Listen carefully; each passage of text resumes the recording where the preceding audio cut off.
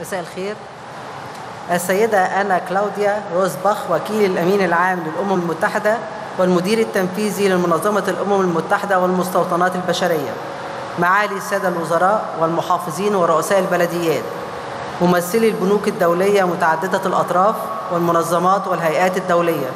السيدات والسادة الحضور الكرام أرحب بكم جميعا في ختام فعاليات الدورة الثانية عشر للمنتدى الحضري العالمي.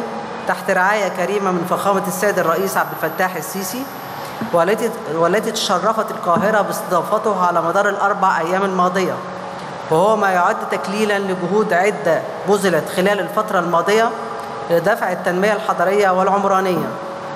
إن نجاح الدورة الثانية عشر من المنتدى الحضري العالمي يؤكد التزام مصر بأن تكون جزءا فاعلا في الحوار العالمي حول أهمية العمل المحلي لدفع التنمية الحضرية المستدامة.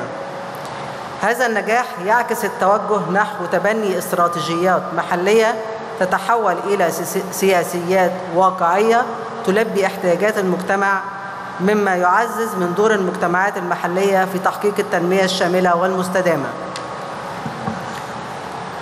لقد أثبتت مصر التزامها الراسخ بمواجهة التحديات الحضرية ولقد أتاح لنا المنتدى الفرصة لمناقشة تحديات التحضر وتبادل الأفكار والحلول المبتكرة لبناء مدن مستدامة وشاملة للجميع.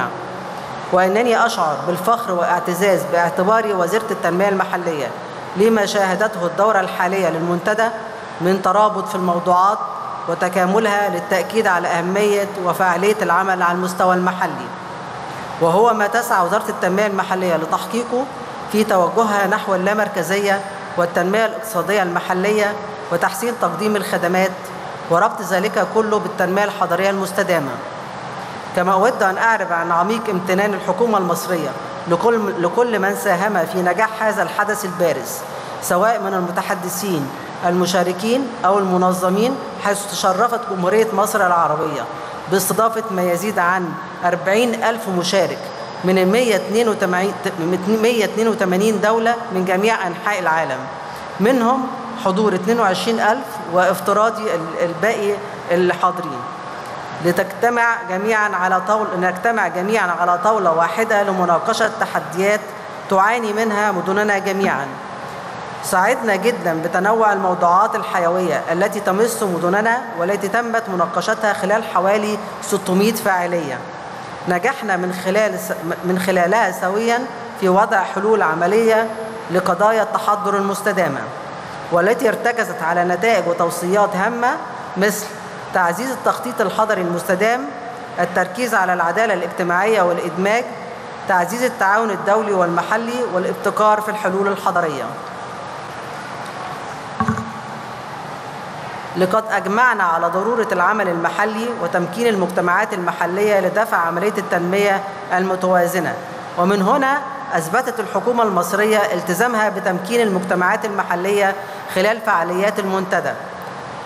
وسعي وسعينا إلى تحول الطموحات المشتركة إلى واقع وذلك من خلال أولا أطلقنا مبادرة اللامركزية وتطوير الإدارة المحلية. خلال فعاليات المنتدى وذلك إيمانا منا. بأن العمل المحلي هو السبيل لتوفير مدن ومجتمعات محلية مستدامة لتلبية احتياجات جميع المواطنين ورفع مستوى الخدمات المقدمة لهم. ثانيا أطلقنا المرحلة الأولى من مبادرة المدن المستدامة وهو أطلس المدن المصرية حالة الاستدامة وتأثير تغيير تغير المناخ والتي تمثل خطوة ريادية نحو تحقيق أهداف التنمية المستدامة والأجندة الحضرية الجديدة. في مواجهة تحديات التغير المناخي وكذا تحديات الاستدامة الاقتصادية والاجتماعية.